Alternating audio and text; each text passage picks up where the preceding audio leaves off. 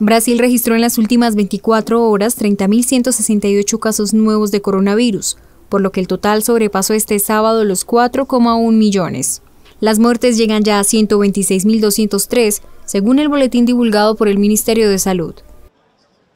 El país contabilizó 682 muertes en 24 horas y por tercer día consecutivo se situó por debajo de los mil decesos diarios, reflejo de lo que según las autoridades serían las primeras señales de estabilización. Algunos estados como Sao Paulo ya han registrado un mes de caída en el número de decesos, pero los expertos coinciden en que todavía es pronto para hablar de mejora generalizada en el país debido al tamaño continental y heterogeneidad de Brasil. El ministerio también informó que la cifra de pacientes recuperados se sitúa ahora en 3.296.702 en Brasil, que es en términos absolutos el segundo más afectado por la pandemia solo por detrás de Estados Unidos.